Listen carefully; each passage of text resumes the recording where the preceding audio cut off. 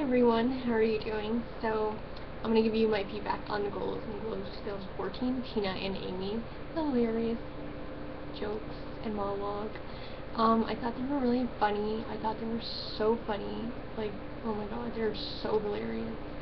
Um, I think my favorite jokes were about George Clooney and everything, like, and the whole, like, Jennifer, Amy references and stuff like that.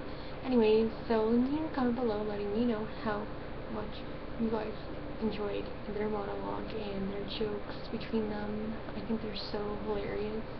Um, this year's uh, and Globes, obviously was hosted by Tina and Amy. I think they did a really, really good job. They're really talented um, actresses